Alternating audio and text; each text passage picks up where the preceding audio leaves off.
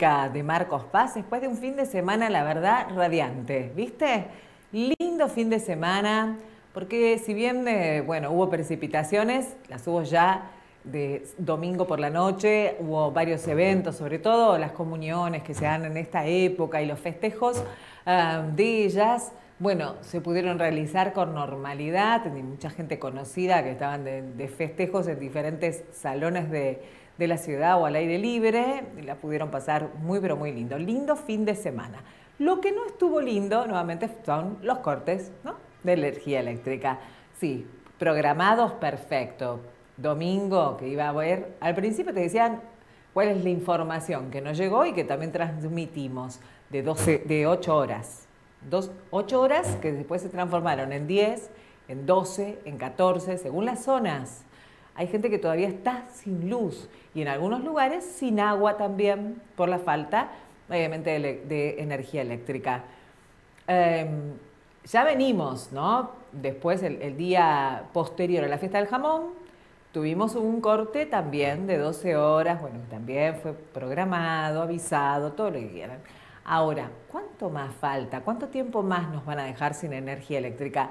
Y por otra parte, hay zonas donde permanentemente se corta la luz. Una de las zonas, que ya lo hablamos anteriormente, es desde la calle, toda la franja, desde la calle Emilio Mitre hasta la Recoba. Toda esa zona eh, es permanente los cortes, pero es a diario. Cortes pequeños, que son los peores porque te queman todo, cuando vuelven, vuelven con una tensión bastante elevada y es un peligro obviamente para los elementos eléctricos. Bueno, o cortes de más tiempos, pero es casi diario. Y por semana tenés alguno que es de muchas horas. Llamás, te quejas, lo que hay que hacer realmente es quejarse, como también lo había recomendado la otra vez, hablando con gente del ENRE, de gente de defensa del consumidor a nivel local, Sandra eh, Soledad González Calixto, lo que nos decía es que hay que hacer la queja, pero masiva. Lo que funciona es que todos la hagamos ponete a escribir una carta a mano, la traes acá, podés enviarla al ente directamente, o algo que es muy bueno, que es hacer una carta, que algunos de ustedes se, se pongan a hacer una carta y que la haga firmar con todos los vecinos y que la vayan pasando de, de como es de manzana a manzana y que llenes hojas de firma. Algo tenemos que hacer para hacernos escuchar. ¿Viste la frase de no te quejes si no te quejas?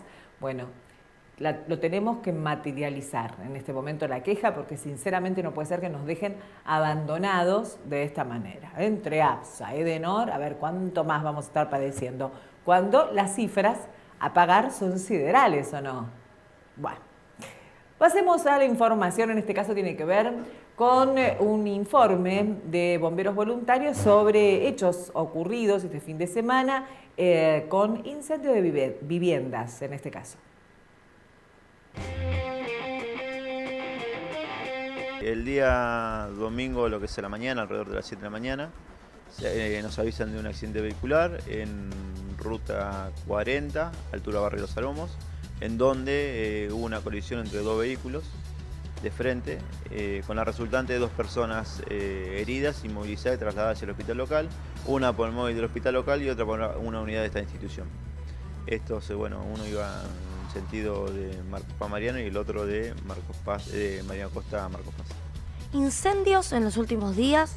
Sí, eh, hubo dos incendios el día sábado a la madrugada, uno alrededor de las 2, eh, de la mañana, en, la calle Puerto Rico y La Malvina, en donde concurren dos unidades al lugar con la resultante eh, de una vivienda que estaba en combustión, una, se trata de una habitación que estaba generalizada, así que se trabajó en, el lugar. Después, un rato más tarde, alrededor de las 3 de la mañana, avisan por otro incendio vehicular, eh, perdón, un incendio de vivienda, en lo que es Valentín Gómez, en una quinta, donde también eh, era una vivienda y bueno, agarró parte de un galpón.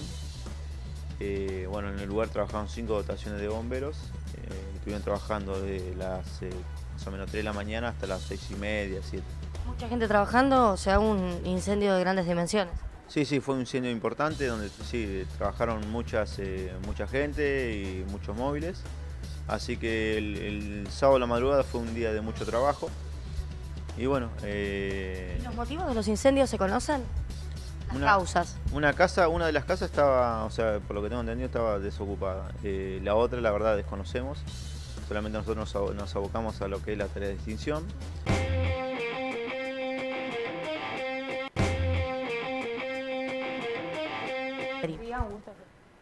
Y lamentablemente un nuevo fin de semana con accidentes de tránsito tristes. La única ventaja que no hubo que lamentar víctimas fatales, pero sí accidentes. Mejores detalles nos lo brinda la directora del hospital Bartolomé Tiri. Un gusto recibirlos. Este fin de semana se atendieron un total de 310 consultas, de las cuales 190 fueron de adultos y 120 de pediatría. En cuanto a los accidentes de tránsito, el día 27 del 10 a las 18 horas aproximadamente ingresó eh, por accidente de moto un paciente de sexo masculino, 21 años, con politraumatismo, lesiones leves y posteriormente se dio de alta. A las 18 y 30 ingresó un peatón en... ¿Moto sola o moto auto? Moto, moto sola. Después, 18.30 ingresó un peatón que fue embestido por un auto eh, fue una paciente de sexo masculino, 28 años, con politraumatismo, lesiones leves y posteriormente se dio de alta. El día 28 del 10 a las 17 horas ingresó un paciente de 60 eh, años, sexo masculino, con politraumatismo, traumatismo encefalocraniano leve, sin pérdida de conocimiento por una patada de caballo. El paciente estuvo todo el tiempo estable y posteriormente fue dado de alta.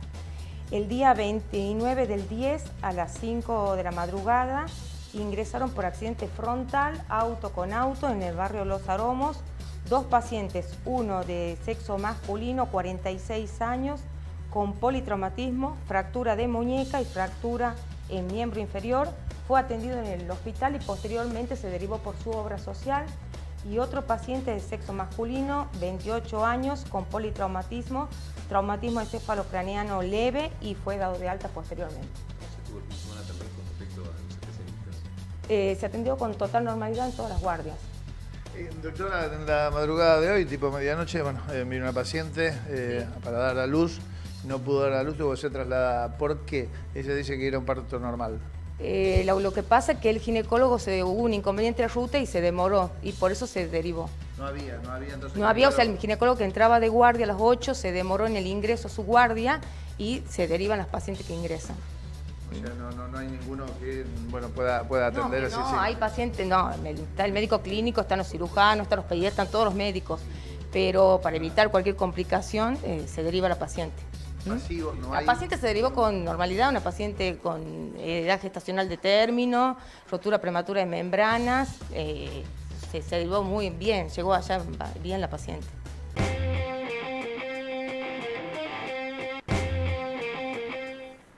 Una buena noticia con respecto a una nueva incorporación de maquinaria en el municipio. En este caso se trata de una máquina demarcadora de vialidad, que tiene la posibilidad de, por suerte, utilizar eh, pintura ¿no?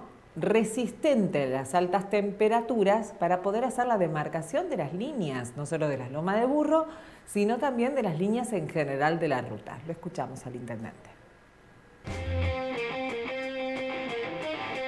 Presentarles un poco ya en sociedad una nueva adquisición que tuvimos el otro hace unos días este, de parte del municipio, que es una demarcadora horizontal en caliente, lo cual nos va a permitir, digamos, todas las sendas peatonales de demarcación de áreas de, que tiene que ver del municipio y también en colaboración con la provincia, por ejemplo, la ruta, este, la divisoria de carriles, de sendas peatonales, este, zonas de, de peligro, todo lo que sea horizontal, en blanco o en amarillo. Este, va a estar funcionando, ya queda digamos como una adquisición para el, para el municipio, lo cual mejora la calidad de, prestación o de los trabajos que se realizaban, que antes tenían que ser o vía vialidad de la provincia o este, con pintura en frío que tiene una durabilidad mucho menor, ¿no? decir, obviamente después con el uso y, el, y las cuestiones climáticas este, tienen una vida, útil, una vida útil mucho más este, pequeña. Así que bueno, contentos, esperemos que los chicos hayan este, recibido bien esa capacitación Este, a partir de hoy ya va a estar funcionando en el distrito y, nada, bueno, ahora Viviana... ¿Dónde se consiguió esta máquina? adquisición, digamos, este, directa de parte del municipio. Hay empresas especializadas como la compra vialidad o las empresas este, eh, viales. bueno, la idea es ir capitalizando el municipio en ese sentido. Esta demarcadora como también la cordonera, que la cordonera de hormigón también ya está adquirida, va a empezar a realizar este trabajo. Y aprovechar también para ir adelantando un poco a los vecinos que el otro día lo presentamos, este, aquellos que tengan interés acercarse también a obras por el tema de ir conformando las juntas, los consorcios de pavimento con este, capa fáltica, porque si Dios quiere y todo anda bien, a partir del 2018 tendríamos esa otra planta, lo cual también se va a hacer la producción de cuadras de asfalto este, a un 30-40% de lo del valor del mercado y que es un 50% más barato que las que hacemos de hormigón. Es una opción más para los vecinos, ya hay muchos que están consultando, obviamente después por inscripción, por orden de, llegada y la idea es este, hacer el mismo esquema que hicimos con este, el plan director vial. ¿Planes de pago? Planes de pago, pero digamos si la cuadra está en 400 mil, acá va a estar en 200, 250 mil pesos. Este, y la planta esta, bueno, si Dios quiere ya la tendremos para el 2018, pero hay que ir haciendo ya la, la promoción para que empiece a trabajar lo antes posible. Pero bueno, esto es una adquisición de parte mía, del agradecimiento a todos los actores del municipio y a, cuidar la inversión y saber que los inconvenientes que puede generar del corte transitorio del tránsito es para bueno, mejorar la calidad de, la calidad de vida y bueno, y la ciudad que es de todos y que todos la queremos cada vez más linda y mejor.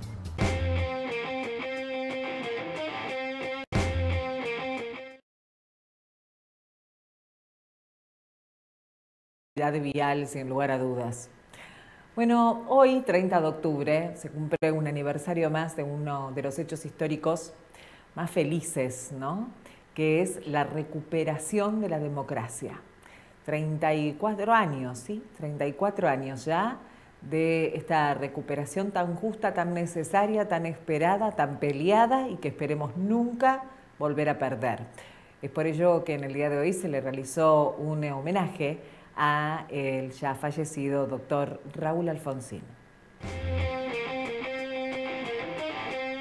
Al reconocimiento del doctor Raúl Alfonsín en cumplimiento de un nuevo aniversario de recuperar la democracia en 1983. Eh, vemos que transcurridos los años su figura se agranda como un gran demócrata, este, una persona que hoy en día este, la mayoría de los argentinos lo reconoce como el padre de la democracia, o sea, de esta última democracia que hemos recuperado, que nos costó muchas vidas, 30.000 desaparecidos.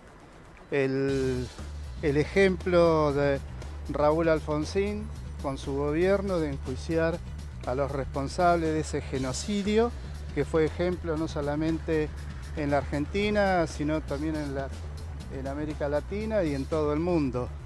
Y, también es bueno recordarlo hoy, en este momento de la democracia, donde tenemos eh, un presidente, ¿no es cierto?, con un estilo, eh, por decirlo de alguna manera, de derecha, conservador, por lo que Alfonsín eh, tanto luchó cuando se hablaba de reconciliar la Argentina, hablar con sectores, este, otros sectores políticos, Alfonsín, lo recuerdo como si fuera hoy, decía, sí, hablar con todos, pero ponía un límite. Y ese límite, sido el límite? Y, ese era el límite, era el límite de la derecha este, de Macri. Entonces por eso este, los radicales que seguimos los principios, las banderas, ¿no es cierto?, no compartimos en nada esta, esta gestión de gobierno. Esta anoche a las 12, como ya es tradición, hicimos intercambio de llamadas con mi papá, eh, porque a papá lo echó la dictadura como intendente y a mi abuelo lo echó como senador. Y a papá lo instauró la democracia. Mi abuelo ya no lo pudo ver, eh, votó pero no se presentó. Eh, entonces vivimos este momento con, mucha emoción, con el respeto a todas, las, a todas las posturas políticas, pero saben ustedes que vengo de familia radical, pero respetando absolutamente a todas las, a, todas, a todos los modos de, pensamiento. Entonces el doctor Raúl Alfonsín es para todos nosotros, eh, bueno, una figura muy importante.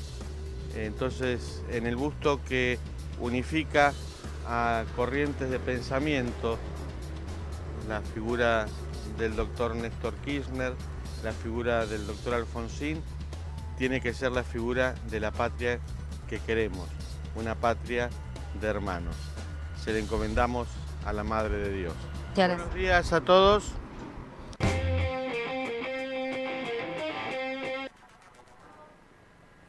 Muy bien, momento de hacer una breve pausa en las noticias. Se queda con nosotros porque todavía tenemos mucho más para informar. En este caso, luego de la pausa, nos metemos de lleno en la noticia nacional y también internacional. Ya volvemos.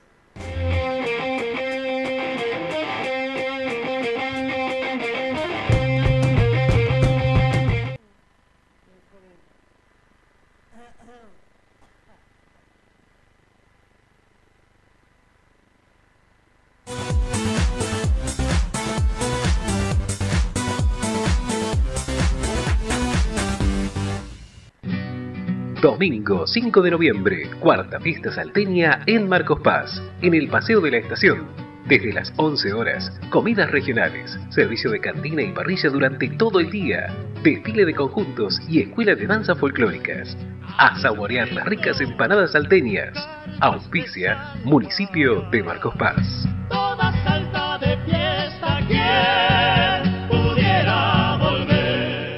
Porque la risa es salud, llega Cacho Garay al Cine Teatro Roma. ¿Ustedes, a, ustedes han comido pizza, pizza con pintura? Vio que ahí dice, estamos con los amigos, pintó pizza. Cacho Garay, gira 2017. Reserva tu entrada ya. Papi, ¿dónde queda España? La verdad que no sé, mijo, pero no debe quedar muy lejos porque aquí en la chacra trabaja un gallego y viene todos los días en bicicleta. Cacho Garay en Marcos Paz. No te lo pierdas.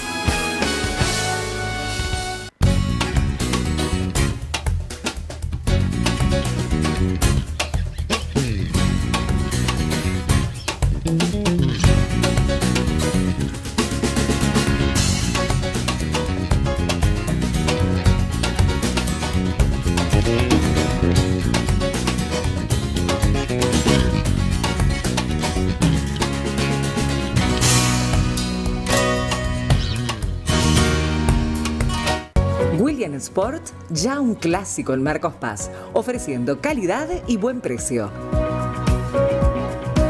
Prendas para vestir a toda la familia, talles estándar, especiales y súper especiales. Todas las tarjetas. Recordá, ahora William Sport en Sarmiento 2186.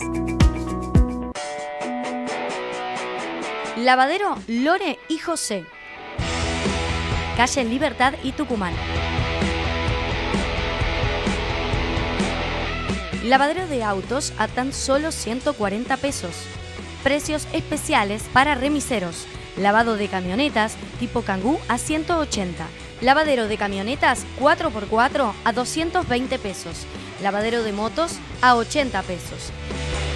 Atendida por sus propios dueños, Lavadero Lore y José, calle Libertad y Tucumán, Marcos Paz.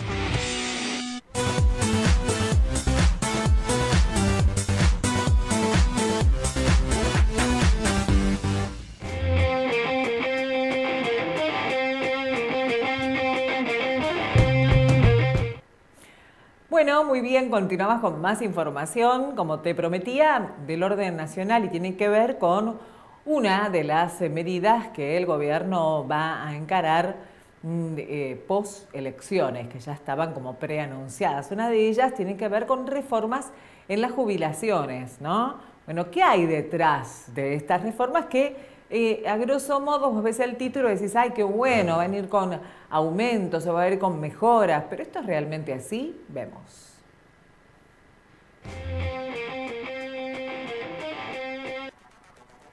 El Gobierno Nacional apunta a modificar la fórmula que determina el valor de los saberes jubilatorios, pensiones y planes sociales que pasarán a actualizarse trimestralmente y de acuerdo a la inflación. En el marco del plan de reformas que presentará el presidente Mauricio Macri esta mañana, los eh, jubilados encabezan la lista de ser una de las primeras variables de ajuste con el nuevo esquema, las jubilaciones aumentarían en el 2018 la mitad de lo previsto con el cálculo actual.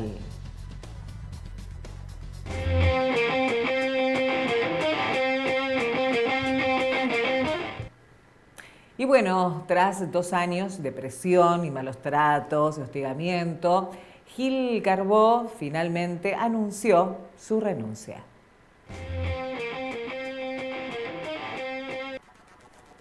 La Procuradora General de la Nación acaba de hacer pública su renuncia que regirá a partir del 31 de diciembre en medio de la embestida contra su persona encarada por el gobierno de Cambiemos. Según las propias palabras de Gil Carbó, con su renuncia busca evitar las modificaciones que el gobierno planeaba sobre el Ministerio Público y Fiscal para removerla y de esta forma resguardar la autonomía de la institución que tanto trabajo le costó construir.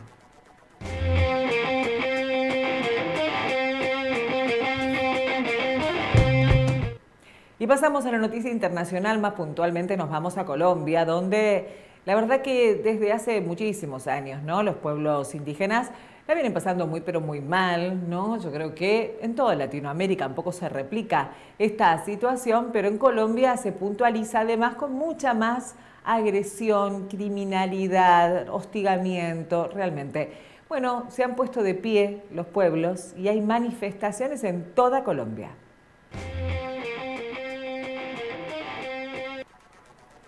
Más de 100.000 indígenas iniciaron hoy una movilización por tiempo indefinido en 16 de los 32 departamentos de Colombia en reclamo del cumplimiento del acuerdo de paz. Los manifestantes hicieron la implementación del capítulo étnico del pacto de paz entre el gobierno y la FARC. También denuncian que el déficit de derechos de los pueblos indígenas es cada vez más grande y que el gobierno no da respuestas a sus reclamos, sino que los criminaliza. Siempre decimos, ¿no? Las venas abiertas de Latinoamérica. Uno lee y bueno, desgraciadamente sigue pasando lo mismo, tristemente, ¿no? Los pueblos originarios siguen padeciendo en estas tierras que son suyas. El mismo dolor que desde tantos años, ¿no? Bueno, llegamos al final de este extractado de noticias y como siempre, ¿qué repasamos? Primeramente, farmacia de turno, y espero no la necesites, pero si es así, es Farmacia Goyanes, que está en Avenida Doctor Marcos Paz, 1601. ¿Qué nos dice el pronóstico del tiempo local para los próximos tres días? Para mañana martes, mirá, que sol pleno, totalmente, para aprovechar 25 de máxima para disfrutar de verdad. En miércoles algo parcialmente nublado con la misma temperatura, 25 de máxima. Y el jueves tendríamos nuevamente precipitaciones con un leve descenso de temperatura, una temperatura que llegaría a los 21 grados. A vivir, aprovechar martes y miércoles a full, a lavar ropa por lo, por lo menos, ¿no? Yo hoy aproveché, entre que no había luz ayer, viste que se te junta todo. Terrible. Y cocinar todo lo que obviamente se perdió del freezer, ¿no? Te debe pasar. Bueno, no, no nos vamos a despedir con malas noticias, sino con buenas. Deseándote que tengas un excelente fin de jornada con mucha paz, mucha luz y que lo pases genial y que realmente esto, este clima que nos anticipa el pronóstico actual se dé, se materialice de esa manera y lo puedas aprovechar, aunque sea tomando unos matecitos afuera, en el verde, disfrutando con tu familia, viendo las pequeñas grandes cosas, como siempre decimos, desde el canto de los pajaritos que vivimos en un lugar semi-rural y hay que, que aprovecharlo, ¿viste? El contacto con la naturaleza, eso es lo que nos alimenta para bien. Y si podés, reíte mucho, mucho. Quejate poco y reíte mucho. Hasta mañana.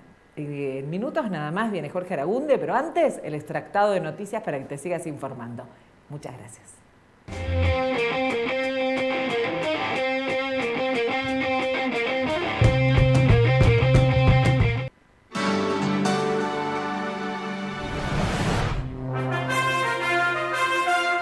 El intendente Ricardo Curuchet presentó una nueva máquina de marcadora vial, dicha máquina adquirida con fondos municipales.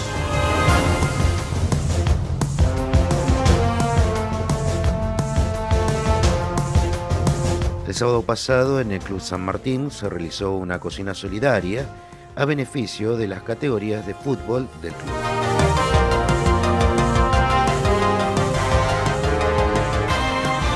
Con motivo de celebrarse el Día de la Democracia, el intendente municipal junto a funcionarios rindieron un homenaje al expresidente Ricardo Alfonsín. El sábado pasado partió el segundo contingente de alumnos egresados de la escuela secundaria número 1 con destino a Córdoba.